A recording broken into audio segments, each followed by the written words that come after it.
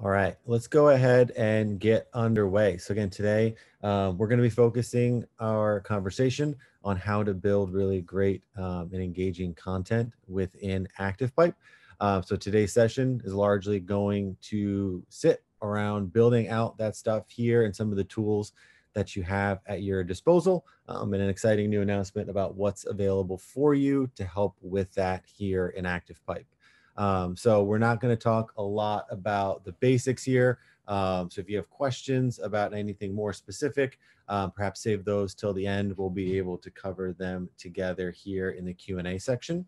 Uh, but let's go ahead and jump right in. So on our dashboard, uh, if we're thinking about what we want to be building in our next email, um, and this is a perfect time to start thinking about this as we're in the middle of November here. We've got holiday season fast approaching. So I want to make sure we give you some really great examples uh, that are tangible and you can take away and start to implement in your own email marketing.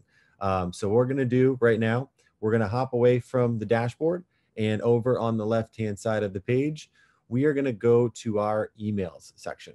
So when I go to select emails, what you're going to do here now uh, for those of you who are a little more new or need a refresher, this email page is going to be your personal library. Think of it as all of the emails that you've ever created. Those are going to be available for you here in ActivePipe.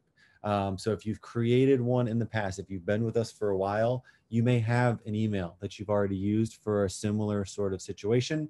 Um, you'd be able to actually reuse that here by simply going down, clicking the three little ellipses, and then you'd be able to actually duplicate or preview that email that you've already used. So that's going to be helpful for those of you who maybe have something that maybe fits about 80 to 90% of what you're looking to send. Um, this would be a great example for how to do that. And I think for most of you, that's going to be something like that monthly newsletter that maybe you've created. Um, so you can reuse those things going forward. Uh, for everyone else, or if you want to build something from scratch. Up here in the top right corner, we're simply going to select that green and white create email button. And now what this does is it opens up your template library. So these are all the templates that your marketing team at Long Foster has wanted you to start with. Um, so you're going to see a number of those templates in here. They're going to range from things like property emails, like a new listing, an open home, you're also going to have some things for newsletters as well. And there's also going to be different styles and colors. So if you prefer the all white, if you want to add in some red or blue, you're going to have a number of options there. The main thing that I want to point out is that when you go to select one of these, and let's just say we're going to create our Thanksgiving letter, we click continue what we're going to now do here is build out the content that we want to include. So right off the bat, you're going to see as I scroll down into the email builder itself, um, first, our brokerage branding is automatically included. So the Long and Foster Christie's logo will be available within your email without you having to do that. Um, and then you're going to see our email in this example starts out with a quick little text box couple things to point out here when you are thinking about content, right? So less so the property aspect of your emails and more so the text um, and things that you're sharing with your clients. Number one, we are starting out this bit of introduction with your recipient's first name. So this is really one of the key things to talk about right off the bat is that we recommend when you're sending out something like a newsletter or maybe it's a holiday message for Thanksgiving, that you include your recipient's first name. This is just a nice touch and a personalization for each of your recipients. Um, and if we're really truly doing this the right way, we're going to have all of that information for our contacts anyways, right? We want to avoid sending a lot of messages to people that you haven't met or you don't you don't really know um, this is going to be a really helpful way to continue for you to build strong relationships is that you're sending them a personal note by adding in things like their first name to the email. Um, so you'll see that my template already has this included. If you ever needed to add this in yourself, I'm just going to clear that out.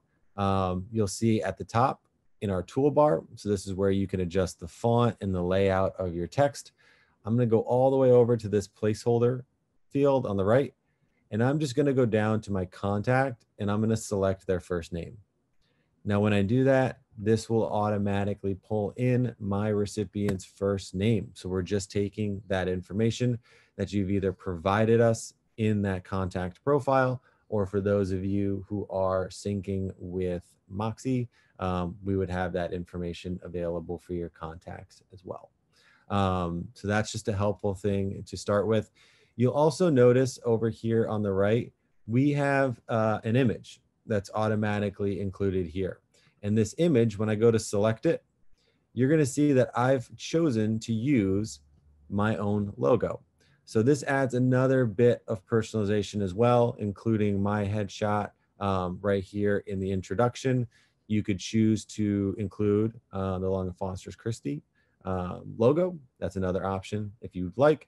Or um, if we remove this, you could even come in over on the right and just drag, remember, drag this text column. So this single column of text. If you don't want that image or you really want to start from scratch, you can do that by just dragging in that single column.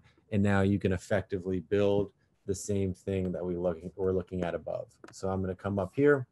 I'm going to select a different text. So heading one, two, or three, yours will have distinct texts that have been selected by your marketing team. So I'm going to say hi. And then again, we're going to go to placeholder and I'm going to add in my recipient's first name. And then we go down below. We can change the text again back to our paragraph and we can start typing out our message. So if you don't like what you see up there at the top, so in this example, again, just to reiterate, if you don't want to have that image embedded there in the email, you can actually come down and just create your own. So very simple to do that. Um, and if you ever need to remove something, you can always use that trash can icon. So we'll select this trash can, delete, and now we're back to our main text as our introduction.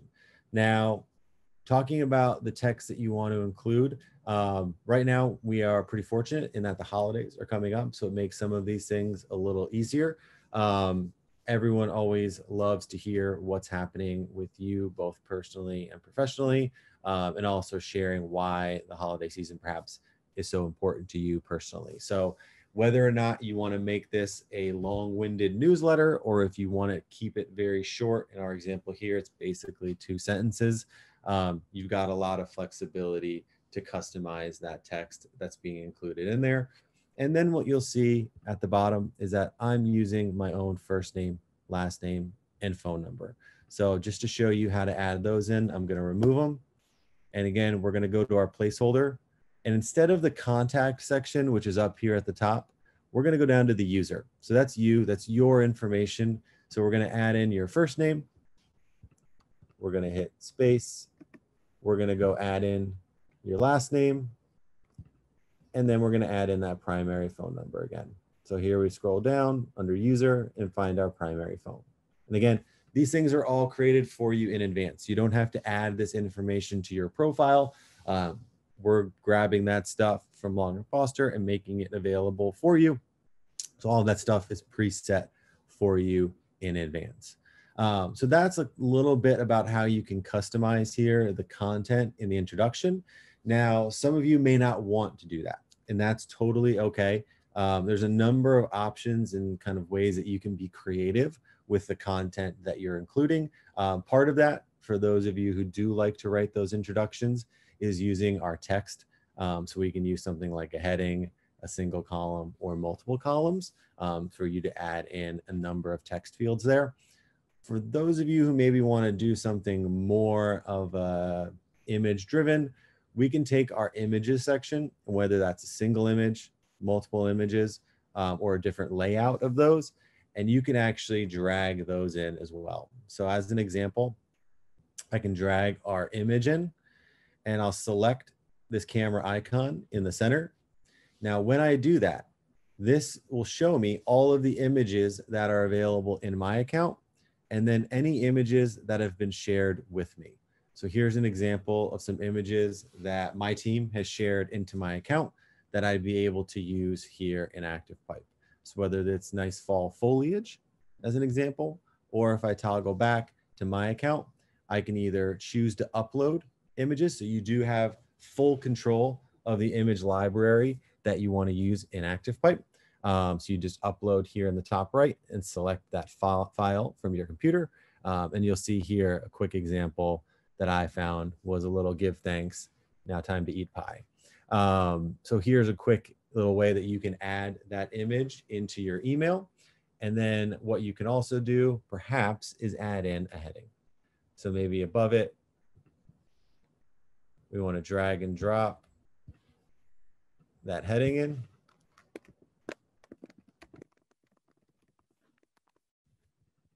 And here we can start to customize the text, whether we want a different size, and if we want to italicize, block, anything else that you want to change about it, we can have our quick little introduction. So there's a lot of variety depending on what you're looking to send to your clients.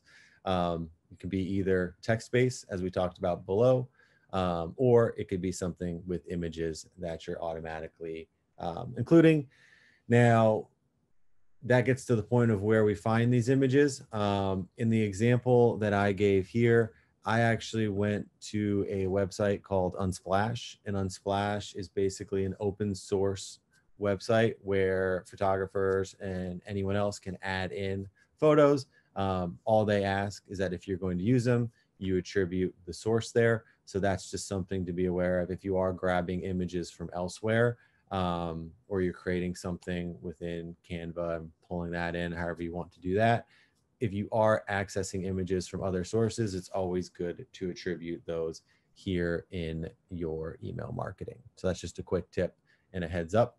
Um, so as we scroll down, you can have a combination of the two. You could remove this and it could be just a heading and a nice little introduction. And then down below, um, one of the things we spend a lot of time talking about um, is the property section. So if you're thinking of content um, and you want to share something that's driven around properties, great. Um, you absolutely have the ability to do that. We have all of your properties at Long and Foster that are available for you, so you can certainly do that. Or if you wanted to make things more um, driven around the actual content of the email and less around the properties, you can come down and there's two ways to do that. Number one, uh, we do have a video integration with both YouTube and Vimeo. So if you wanted to, what I've seen very successfully done with a number of agents across the country is that they pull in this video icon, they choose a video, and then they record a message. So whether it's about a property that you're just listing, um, that you want to walk through virtually, um, and explain the really great features about the property and why you're excited about it. Um, or if it's around the holidays where you want to share a Thanksgiving message to your contacts, you can do that through both YouTube and Vimeo if you're the type that wants to record those things.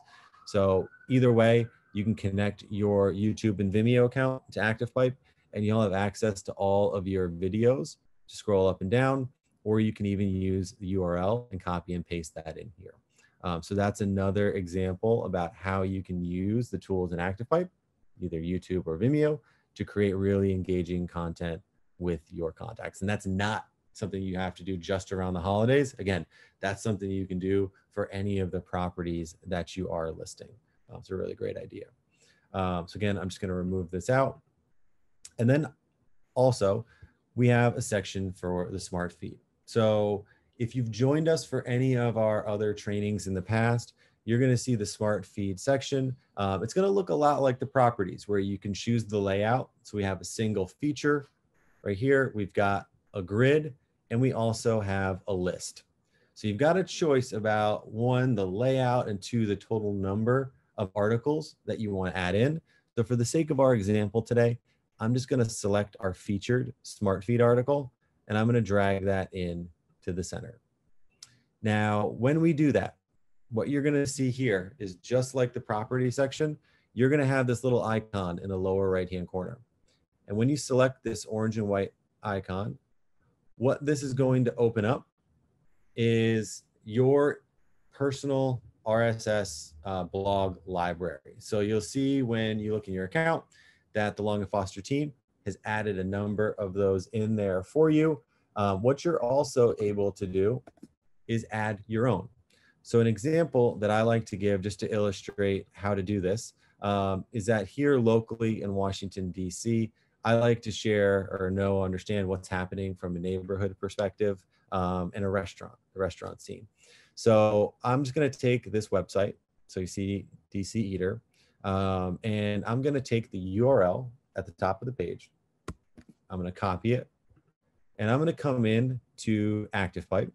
And underneath this section for fetch from URL, I'm going to paste in that URL. So dc.eater.com. I'm going to hit enter. And when I do that, ActivePipe's going to be able to add that uh, and make these articles accessible.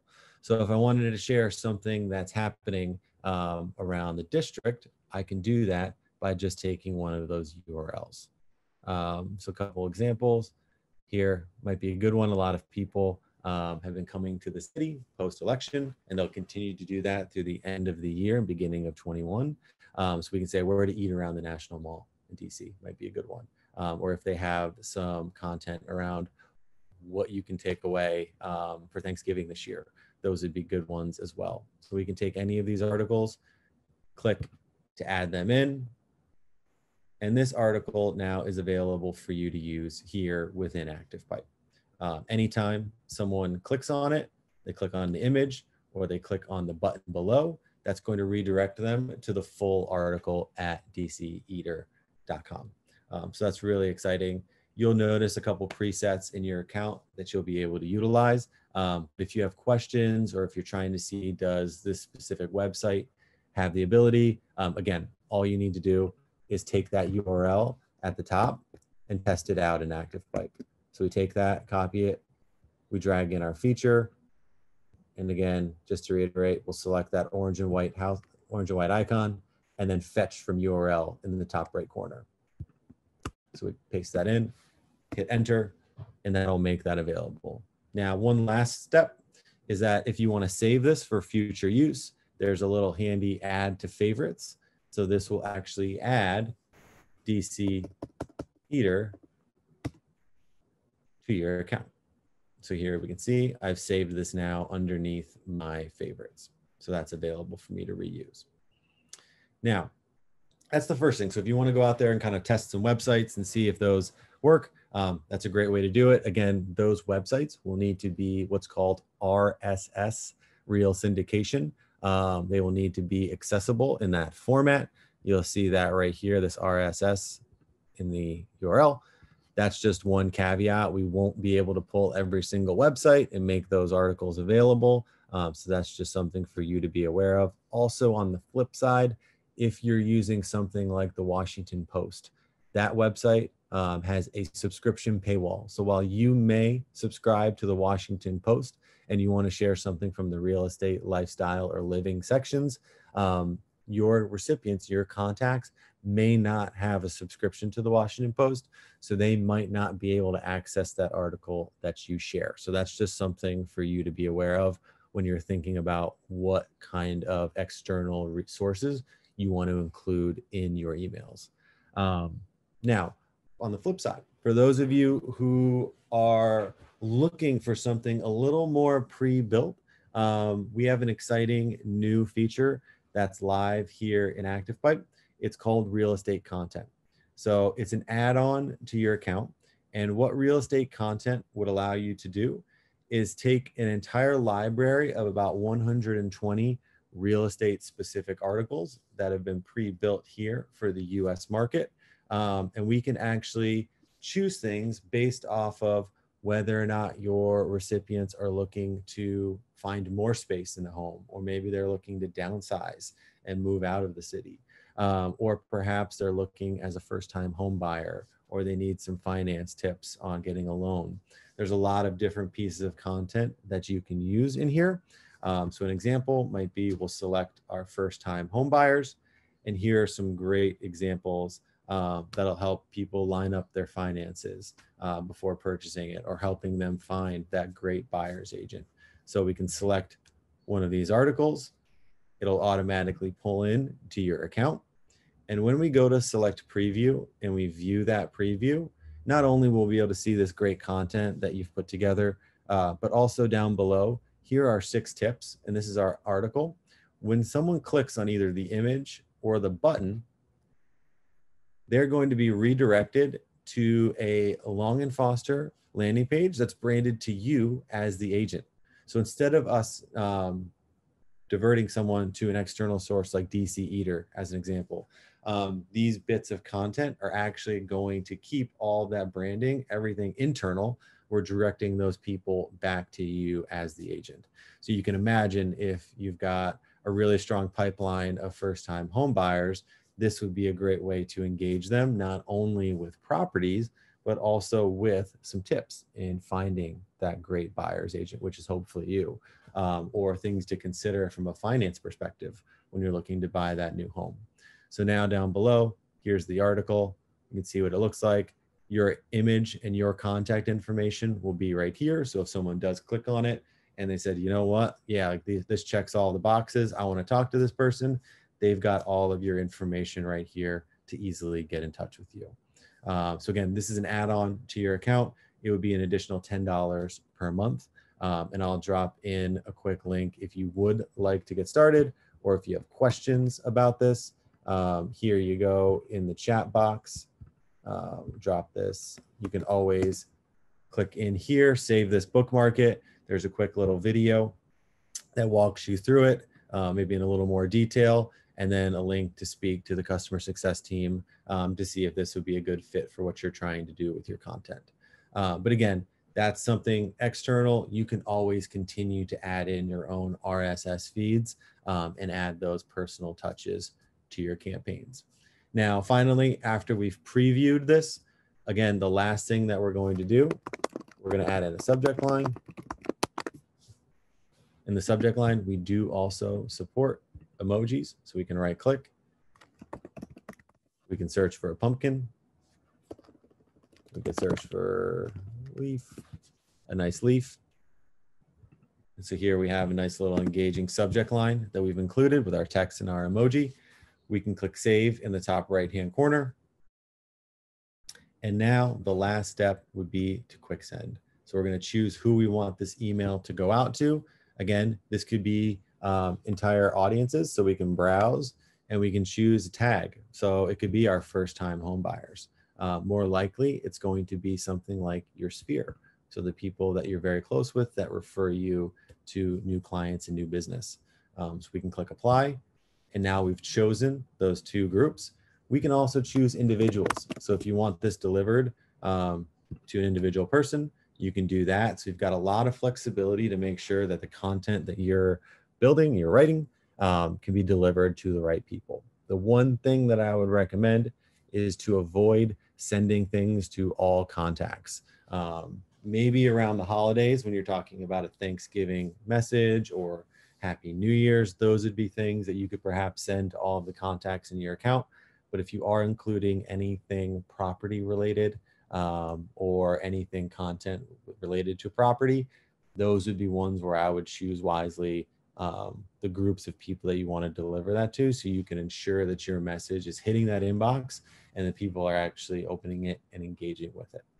Um, and then finally, once you do have those groups set up or individuals, you just choose when this email goes out. So whether it's immediately or if we want to set this up for 9 a.m. and we can do it the day before. So I believe it's the 26th this year. So we can set it out on Wednesday, November the 25th. And that will go out the door. I think that's the date. Could be wrong. Could be the 19th this year.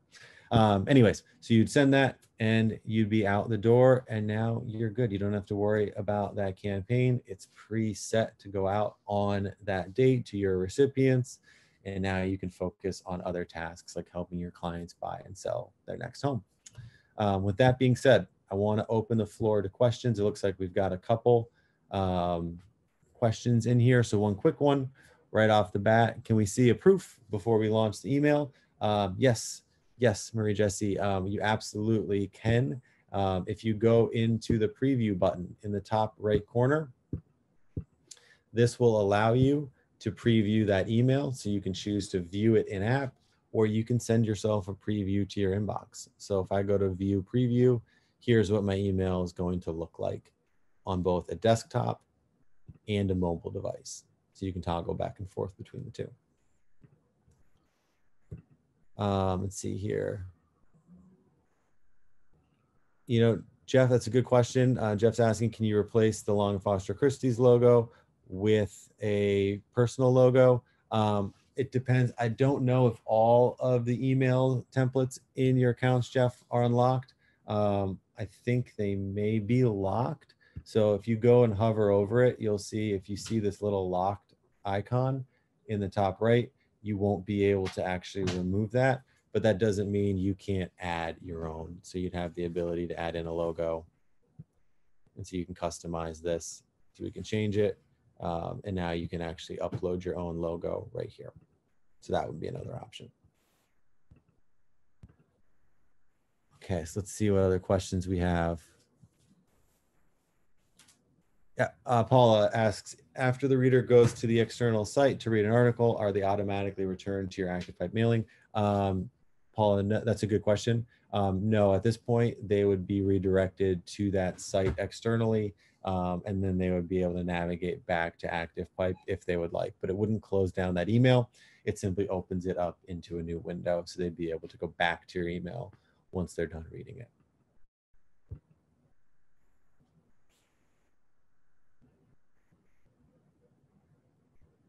Um, Amy's asking, how do we access images from sources other than Canva or Unsplash? For example, um, other photo sources or even our own personal photos we want to use. Um, Amy, if you have those photos or files on your computer, when you go to upload any images, you can choose any of those folders on your computer. You can choose the desktop, the download section. So if you have those on your personal device or an external hard drive, you'd be able to access those when you're importing or adding photos. Um, yeah, and if you do have any questions, there's obviously going to be some that we have after today. Um, one of the things that I would recommend is to bookmark our support site. That is support.activepipe.com. You'll see right here, I have this and I'll drop this into the chat box. That's going to be a great resource for you. We've got helpful things to get started, um, entire knowledge base of articles, and we even have short training videos. So if you're wondering um, how to use YouTube, here we can talk through um, adding in or updating a YouTube video into your account. So just type that in and we'll have an entire article that walks you through exactly how to do that. Okay, let's see a couple other, time for about two more questions. Um, okay, so we've got two of the same ones and one unique. So these will be the last two. So um, we've got one question from Patrick. If someone's tagged in multiple groups, does ActivePipe know not to send duplicates? Yes. Um, so in the example, Patrick, that we kind of talked through when we were sending out that email. So I'll save this and click quick send. When I go to choose my two groups that are first time home buyers and buyers, we click apply. If um, this one person who's a first time home buyer is also categorized as a buyer, we will only send them one email. So that person's only going to receive one email from you. Now, that being said, if you sent this email right now to your first time home buyer, you click send, and then you came back in and you said, I want to send it to my buyers too. If you did two separate sends, that person would then receive two emails from you. But as long as you're including each of those categories in a single email, we're going to dedupe that for you. So that'll be helpful. Um, and then the final question is, can you post these things to social media?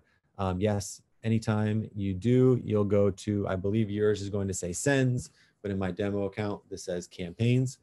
We'll go to our campaigns. We'll click a finished campaign. We're going to view that report. And then you can view the email. So right here, local links next to the name, there's a view email button. We'll click that and you can actually take this URL and you can copy and paste that to any social media site. Um, so that'll be a quick way to be able to do it. We are looking um, at a better way to be able to handle that in the future. But for now, that's going to be your best resource to share those final finished campaigns to social media. Um, but yeah, so we are a couple minutes after 1.30 here. So in the interest of time, I want to wrap things up today. Um, I truly want to appreciate everyone taking 30 minutes out of your afternoon here in the middle of the week. I uh, hope you learned a little bit of something new about how you can approach your email marketing here in ActivePipe. Uh, if you have any questions whatsoever, I highly recommend bookmarking that support page. It's going to have all the resources you'll ever need. But also, if you ever run into questions while you're kind of working on something in the app, in the lower right or lower left hand corner, you'll see this help icon. You can actually chat live with our support team in the app. Uh, they're very responsive, will be able to help you get your question addressed really quickly and provide some great suggestions. So if you ever want to do that, that is available for you. Otherwise, you can also email our support team, and that is, and I'll drop it into the chat box as well. That's support at activepipe.com. And they'll be able to help get your questions addressed as well. So a lot of great resources there. Um, but again, I want to thank you all so much for joining us this afternoon. I hope everyone has a wonderful rest of the day. Um, and if I don't see on any future ActivePipe trainings, hopefully everyone has a wonderful Thanksgiving. Take care, everyone. Have a great rest of your day.